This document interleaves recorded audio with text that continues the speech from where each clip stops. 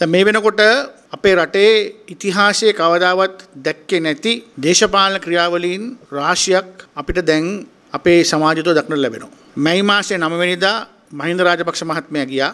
ජූනි මාසේ 9 වෙනිදා බැසිල් රාජපක්ෂ ගියා. ජූලි 9 වෙනිදා ගෝඨාභය මහත්තයා ගියා. අගෝස්තු 9 අරගලේ ගියා.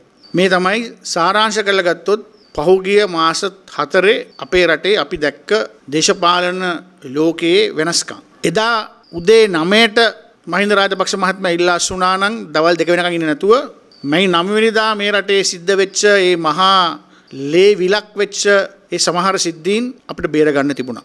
ජූනි 9ට ඉස්සෙල්ලා බැසිල් රාජපක්ෂ මහත්මයා තමාගේ ඒ ඉල්ලා අස්සීමේ කටයුත්ත කරා නම් අපට භාගවිට තාමත් ගෝඨාභය රාජපක්ෂ මහත්මයා ජනාධිපති හැටියට ඉඳගෙන ශ්‍රී ලංකා පොදු ජන පෙරමුණේම අගමැතිවරයෙක් එක්ක ඒ අරගලයේ ඉල්ලපු සර්වපාක්ෂික ආණ්ඩුවත් හදාගන්න තිබුණා. ජූලි 9 වෙනිදා වෙනකන් ඉන්නේ නැතුව ගෝඨාභය රාජපක්ෂ මහත්මයා රනිල් වික්‍රමසිංහ මහත්මයා වෙනුවට මේ රටේ සියලුම පක්ෂ ඉල්ලපු අගමැති කෙනෙක් දාලා ඒ සර්වපාක්ෂික ආණ්ඩුව ගෝඨාභය මහත්මයා හැදුවා නම් රනිල් වික්‍රමසිංහ මහත්මයා දාලා දේශපාලන ගෙහිම් ගන්න නැතුව අපිට අද ජනතාවගේ ඡන්දයෙන් පත් වෙච්ච ජනාධිපති කෙනෙක් එක්ක තව ටික කාලයක් යන්න යන්න ඉඩ තිබුණා. ඒවා ඉතිහාසයේ කරපු වැරදි නිසා වෙච්ච දේවල්. දැන් අනාගතයේත් ඒක නොවෙන්න වග බලා ගන්න ඕනේ.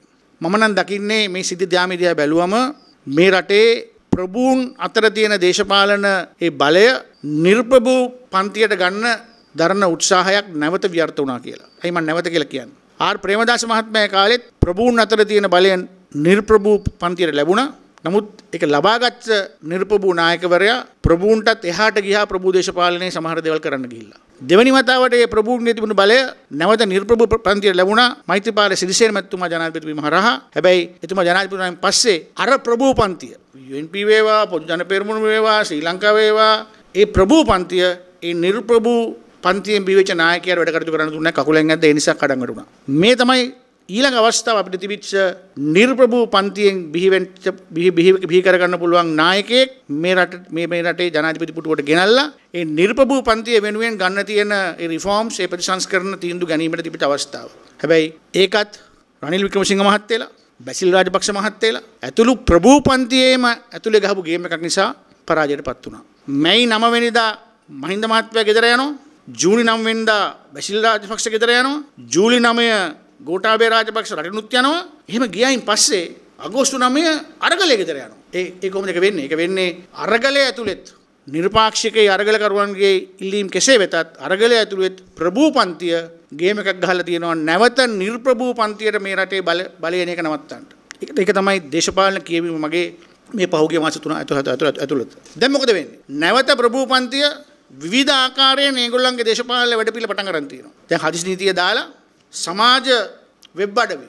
ඒ වගේම මේ රටේ ජනතාවට ඇත්ත කියන්න තියෙන සමහර සමහර සමාජ මාධ්‍ය සමාජ මාධ්‍ය ඒ ක්‍රියාකාරීන් දඩයන් කරන දැන් අලුත් පනත් ගේන්න හදනවා. ලංකාවේ දැනට තියෙන නීති ඉතාම ප්‍රමාණවත් යම් යම් ආකාරයේ සමාජ වෙබ් අඩවි හරහා වෙන වැරදි දේවල් නවත්තන්න. ඇත්ත සමාජ සමහර සමාජ වෙබ් අඩවි වල පෞද්ගලික මඩ ගහනවා, අසත්‍ය ප්‍රචාර කරනවා. ඒක ඇත්ත. නමුත් ඒවා මර්ධනය කරන්නට ඒ ඒවාට යම් යම් නීති සකසන්න දැන් තියෙන සමහර නීති ප්‍රමාණවත්. දැන් මේ මොකද කරන්න හදන්නේ? හදිසි නීති යොදාගෙන ආණ්ඩුවට විරුද්ධ බලවේග මර්ධනය කරලා ඒ සමාජ වෙබ් අඩවල ඉන්න මාධ්‍ය ක්‍රියාකාරීනුත් මර්ධනය දික්කරන මේ යන්නේ මේ පළවෙනි පියවර ඊළඟට මේක වෙනත් මුද්‍රිත මාධ්‍ය ඊගාවට ඉලෙක්ට්‍රොනික මාධ්‍ය වලට මේ මේ අතම තියෙනවා. මේ තමයි රනිල් ක්‍රිෂ්ණ මහත්මයාගේ ඉතිහාසය ඉඳලා ක්‍රියාදාම. ඒ නිසා හදිසි නීතිය පාවිච්චි කිරීම නවත්තන්නේ කියලා අපි දිගින් දිගටම කිව්වේ අපි දන්නවා. ඉතිහාසයේ පුරාම රනිල් ක්‍රිෂ්ණ මැතිතුමාගේ ක්‍රියාකලාපය හදිසි නීතිය හරහා කරපු. ඒ නිසා අපි වහාම මේ ආණ්ඩුවෙන් ඉල්ලා හිටිනවා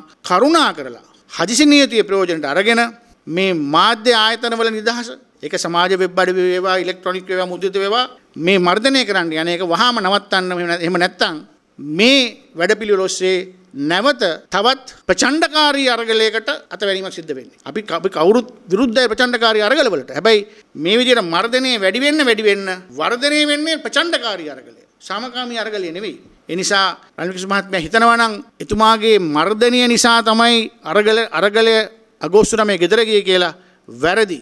අගෝස්තු 9 ගෙදර ගියේ මේ වෙනකොට ඒ අරගලය මුවාවෙන් ප්‍රභූ පන්තියත් සමහර දේශපාලන කණ්ඩායමුත් අරන් ගිය කිසිම ඉලක්කයක් නැති වැඩ පිළිවෙලක් නිසා. එහෙම නැතුව මර්ධනය නිසා අරගලයේ ගෙදර ගියා කියලා හිතනවා නම් රනිල් ක්‍රිෂ්ණ මහත්තයාට වැරදිලා. මට අවසාන වශයෙන් කියන්න තියෙන්නේ නැවත වරක් මේ රටේ ජනතාවට මේ රටට ප්‍රතිසංස්කරණ අවශ්‍ය කරලා තියෙන රාජ්‍ය පරිපාලන ක්ෂේත්‍රයේ ආර්ථික ක්ෂේත්‍රයේ දේශපාලන ක්ෂේත්‍රයේ ව්‍යවස්ථාවේ මැතිවරණ ක්‍රමේ මේ සියලු ප්‍රතිසංස්කරණ ඉල්ලලා සිස්ටම් චේන්ජ් කියන නමින් පාරට බැස්සේ අපේ දූල පුතාලා පාරට බැස්සේ නංගිල මල්ලිලාගේ ඒ ඉල්ලීම් සැබවින්ම අපිට යථාර්ථයක් බවට පත් කර ගන්නට නම් ස්ථිර වශයෙන්ම මේ රනිල් වික්‍රමසිංහ මහත්මයාගේ යන වැඩපිළිවෙල පිළිබඳව අපි ඊටාම දැඩි අවධානයෙන් ඉන්න ඕනේ. දැන් සර්වපාක්ෂික ආණ්ඩුවක් හදනවා කියලා එතුමා කියනවා. පස්සේ දොරෙන් තමයි එතුමා ජනාධිපති පුටු ඉඳගත්තේ.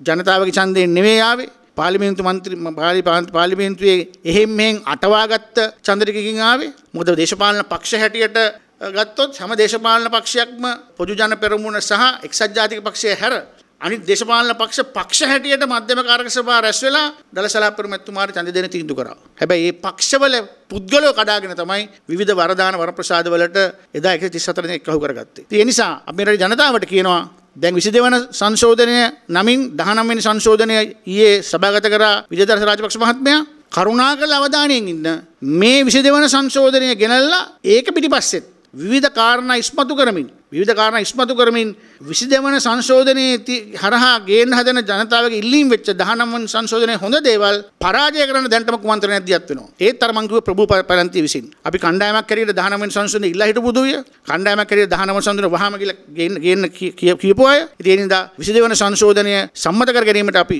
අපි උදව් කරනවා. හැබැයි 22 වන සංශෝධනයේ මතක තියාගන්න අපිට නොපෙන්නපු කෑල්ලක් දෙකව කරලා තියෙනවා. ඒ කියන්නේ කැබිනට් මණ්ඩලය ජාතික ආණ්ඩුව කියන ලේබලය අලවලා 30ට වැඩි කරගන්න රාජ්‍ය සහ නියෝජ්‍ය ඇමතුරු 40ට වඩා වැඩි කරගන්න අවශ්‍ය කරන වගන්තියක් දැන් රින්ගෝලා තියෙන පිටිපස්සේ දොරෙන් මේ 22 සංසෝධනය ඇතුළට. ඒකේ මොකද මේ කියන්නේ? ඒකෙන් කියන්නේ මේ රටේ ජනතාව ඉල්ලන ඊටාම කුඩා කැබිනට් මණ්ඩලය නෙවෙයි මේ දෙන්න යන්නේ. මේ රටේ ජනතාව ඉල්ලන ඇමතිවරුන් සංඛ්‍යාව වැඩි කරලා මේ රාජ්‍ය වියදම් අඩු කරන්නේ කියන ඉල්ලීම නෙමෙයි මේ කරන්න යන්නේ. මේ කරන්න යන්නේ වරදාන වරප්‍රසාද ඇමති මස්කටු දීලා අර අටවාගත් ආණ්ඩුව කෙසේ වූ අරගෙන යන්න දරන උත්සාහයක මිසක ප්‍රශ්නවල විසඳුම් හොයන වැඩ වැඩ පිළික නෙමෙයි මේ ඉන්නේ. ඒ නිසා අපි රනිල්ක්ෂ මහත්මයාට කියනවා පස්සේ දොරෙන් ආවත් කමක් නැහැ. කරුණා කරලා මේ රටේ ජනතාව ඉල්ලපු ඒ වැඩ පිළිවෙලට ගොනු වෙන්න. මොකද අවසානයේ අරගලයේ ජයග්‍රහණ භුක්ති විඳින්නේ රනිල් වික්‍රමසිංහ මහත්මයයි දිනේෂ් ගුණවර්ධන මහත්තයයි විතරයි. අරගලයේ හිටපු මිනිසුන්ට අරගලයේ වෙනුවෙන් පෙනී හිටපු අයට ඒක ඒක කිසිම ජයග්‍රහණයක් ලැබිලා නැහැ. ඒ හින්දා අරගලයේ නාමයෙන් අද ඔය ජනාධිපතිපටුවේ යගමැතිපටුවේ ඉන්න ඒ මහතුරු දෙදෙනා අපි කියනවා කරුණා කළා දැන්වත් සැබෑ අරගලකාර විල්ලපු මේ දහ දෙනාගේ මන්ත්‍රී කණ්ඩායම පාර්ලිමේන්තුවේ සටන් කරපු ඒ කෙටි කාලයකට හදාගන්නා වූ ඒ සර්වපාක්ෂික ආණ්ඩුවක් සියලු පක්ෂ එකතු කරගත්ත ආණ්ඩුවක්. ඒ ආණ්ඩුවේ ඇමති මණ්ඩලය 20කට සීමා වුණොත් ඇති. රාජ්‍ය ඇමතිවරු ඕනේ නැහැ අපි කණ්ඩායමක් හැටියට එහෙම ආණ්ඩුවක් යටතේ පාර්ලිමේන්තුව තුළ ව්‍යවස්ථාදායකය ඇතුලේ අපි ඒ කාර්ක සභාවල ස්වේච්ඡාවෙන් වැඩ කරන්න සූදානම්. වරදාන වරප්‍රසාද නැතුව වැඩ කරන්න සූදානම්. මොකද හේතුව රටේ මිනිසුන්ට අවශ්‍ය කරලා තියෙන්නේ අන්න ඒ වැඩපිළිවෙල ගොනු කරන්නට අවශ්‍ය කරන ආණ්ඩුවක් විසක්කා වරදාන වරප්‍රසාද මත ගොනු වෙච්ච පාර්ලිමේන්තුව ඇතුලේ ජනාධිපතිතුමා පත් කරගන්න ඡන්දය දුන්න 134 දෙනාගේ වමනාවන් සපුරාලන ආණ්ඩුවක් නෙමෙයි මිනිස්සු ඉල්ලන්නේ ජනතාවගේ ප්‍රශ්න වලට විසඳුම් දෙන්නා වූ ආණ්ඩුවක්. අද මේ මොහොතේ තාම අපේ අපේ රටේ වී ගොවියාගේ ප්‍රශ්න විසඳලා නැහැ. තේව ගොවියාගේ ප්‍රශ්නේ එහෙම් එහෙම් පිටීම එතනමයි අල ගොවියා, ලෝලු ගොවියා, කම්කරුවා මේ සියලු දෙනාම අනාථ වෙලා ඉන්නේ. මේ පැත්තෙන් මේ පැත්තෙන් බොරුවට බොරුවට රුපියල් හාරසිය ගානකින් වැඩි වෙච්ච ගෑස් මිල රුපියල් 200න් අඩු කරලා දැන් ඊළඟ මාසෙ ඉඳලා සෑම කෙනෙක් නිවසකම විදුලි බිල අඩු ගානේ 5 ගුණයකින් වැඩි වෙනවා. 5 ගුණයකින් වැඩි වෙනවා. සුළු ව්‍යාපාර කරන අය, පුංචි පුංචි හෝටල් කරන අය, සාමාන්‍යයෙන් මධ්‍යම සහ කුඩා පරිමාණයේ සංචාරක ව්‍යාපාරයේ නියැලී ඉන්න අය මේ සියලු දෙනාගෙටම තමන්ගේ විදුලි බිල අඩු ගානේ 5 ගුණයකින් 6 ගුණයකින් 7 ගුණයකින් වැඩි වෙනවා ඊළඟ මාසෙ ඉඳලා. ඉතින් මොකද මේ කරන්නේ? මේ ජනතාවගේ ඉල්ලීම් ඉෂ්ට කරන්නේ නැහැ. මේ පැත්තෙන් කැබිනට් එක ලොක් කරගන්නවා. අලුතෙන් රාජ්‍ය අමාත්‍යවරුපත් කරගන්නවා. විශේෂ උපදේශකයෝ කියලා පැරදිච්ච එක්සත් ජාතික පක්ෂයට විවිධ විවිධ තනතුරු වරපසාය වරදාන දෙනවා. මෙහෙන් විදුලි බිල වැඩි කර වැඩි කරනවා. ඒ නිසා ජනතාව ඉල්ලපු ආකාරයට කටයුතු කරන්න මේ ආණ්ඩුව සූදානම් වුණේ නැත්තම් ඔය මර්ධනය හරහා මර්ධනය හරහා නැවත්තුවයි කියන අරගලය මර්ධනය නෙවෙයි වර්ධනය වෙන එක නවත්තන්ට වෙන්නේ නැහැ කියන ඒ දැනුම් දීම අපි කරනවා මේ වෙලාවේ.